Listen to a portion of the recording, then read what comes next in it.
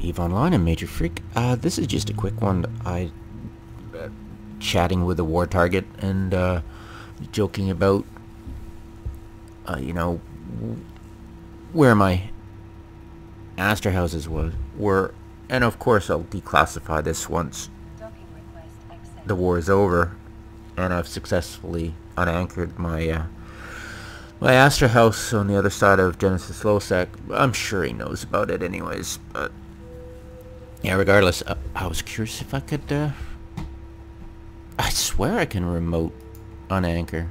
I think I remember it, like decommission, right? Pretty sure you can just, you know, decommission it. Where is it, where is it, where is? There it is. Yeah, pretty sure you can just right click and go decommission. Yeah, see? Yeah. Cancel it. See? Bloop. And of course you can, you know, uh, uh, cancel decommission, just like that. Bloop. Yeah. Thought I could. Yeah, I mean, that way um, you don't have to travel to the system and locate agents or alts watching you can go, oh, he's in system. And then they go and check the upwell, and sure enough, you can see it's unanchoring. And they can pretty much guesstimate when you started anchoring. But if you don't enter the system at all, and they're not watching it 24-7, you can just, when you know they're sleeping, just go, and they'll never really know exactly when.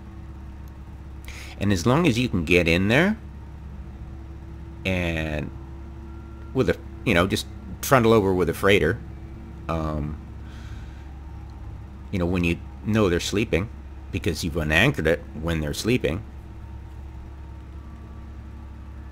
or, or started the decommission process, it should be a piece of cake, really, honestly. As long as you don't loiter around there. See, what I learned in lowsec when we would steal player-owned towers, like the POS stuff, all the time. I mean, to me, it's like, oh, something's doing something out of the ordinary. And you just go wander over and check it out, and sure enough, something's anchoring or unanchoring or something, or something stupid. They're, they're trying to be sneaky, but just act normal. Don't go there till you absolutely need to. And if you do need to do it when somebody's watching, set up a pattern that it's a normal thing for you to do and nothing untoward is going on. And you just do it while that's going on. Just just act normal. Just make it a pattern. Like if you want to do something out of the ordinary start making it ordinary that you're doing this. And then all of a sudden people are like who cares? And they don't notice what you're doing. But yeah, it always happened in lowsec. People would just do something out of ordinary, and you're like, oh, that's interesting. You go over and check it out. Curiosity killed the cat, and sure enough, something's somebody's doing something stupid, which was pretty much the case for highsec Care Bears trying to go in lowsec. It was pretty funny, but yeah. Anyways, blah blah blah.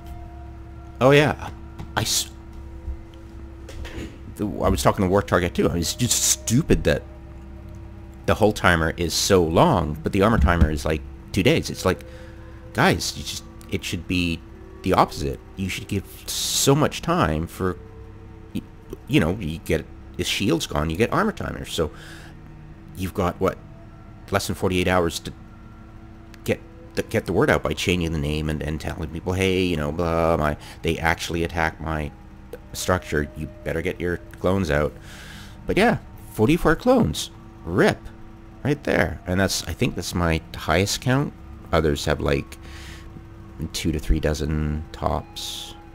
Couple, couple have one dozen, but still, you know, hopefully those aren't. Yeah, hopefully, uh, yeah, hopefully. I'm sure there's one or two billions of ISK worth of implants that are just now going to get destroyed, but I tried my best to send out leave mails to uh, people who'd activated clones the last five months, was it?